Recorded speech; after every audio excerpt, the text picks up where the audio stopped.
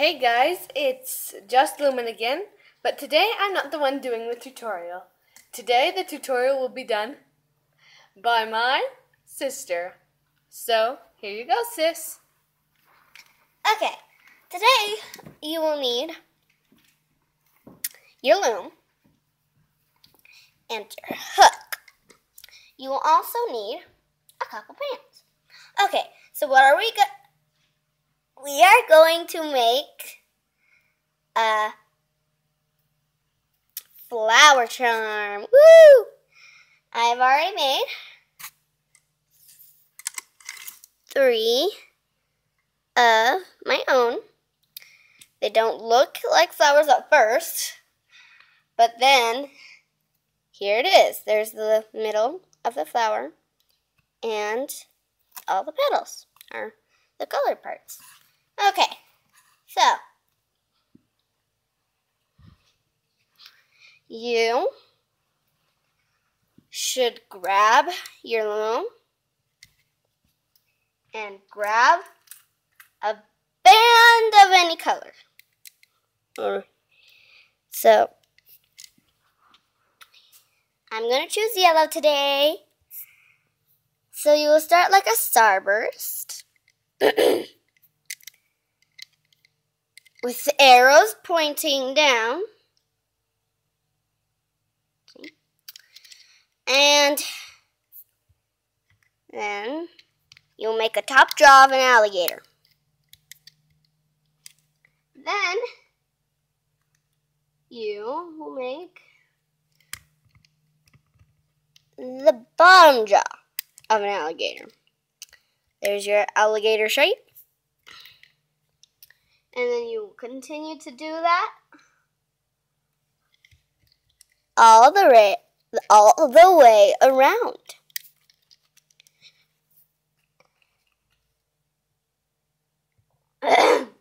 Once you are done going all the way around, you will have to um, make a cap band. The cap band, you see, will have to be looped three times. so, with the loom, three times is made like this. One,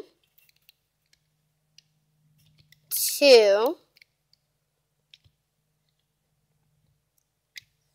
three. There you have it. Now, time to use your hook.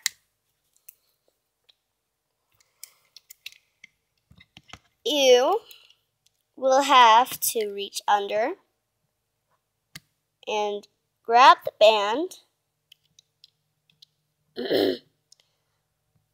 put it back to where it had originally come from.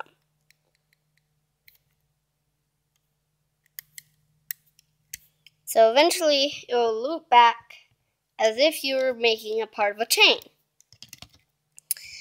Now, you should do that all the way around. And when you're done, wait for the next step.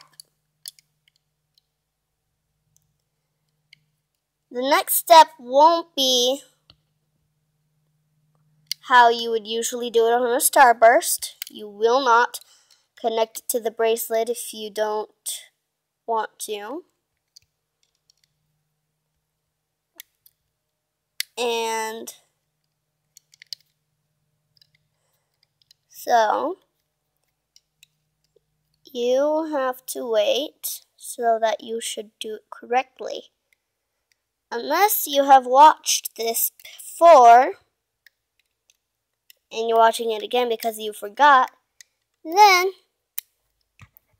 you can probably skip ahead. So there's your little circle, like a sunshine. And now you won't need your hook. Just toss it away. So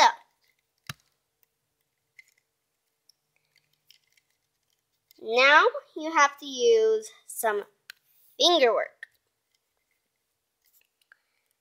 So you're going to have to make slip knots all the way around. So you will need to stretch it up three pegs if you want it to be really stretchy and able to go on everything.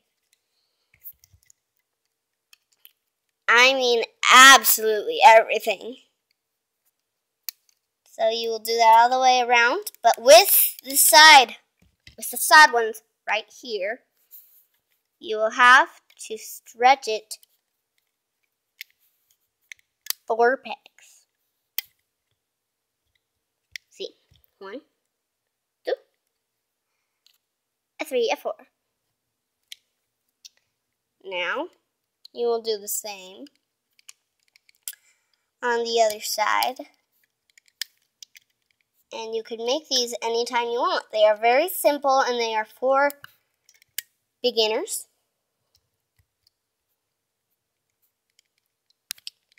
But everyone can do it. If they want to. Like if you're in advance, you can do it too. Just because it's good for beginners doesn't mean that advanced people can't do it. So, once you are done, you will have to hold it in the shape that it's in for at least five seconds. If you hold it there for five seconds, then it will be absolutely stretchy and it can go absolutely on everything. So now it looks like that. So five, four, three, two, one. Then pull back, let go. Pull back, let go. Pull back, let go. Pull back, let go. Pull back, let go. Pull back and let go. Well, there you go. It's nice and all over the place. You have it right there. It can also work as ta-da! A ring. Or you can arrange it around. Say you can pull it all the way over here, like that, or different places. So that's how you make the flower charm.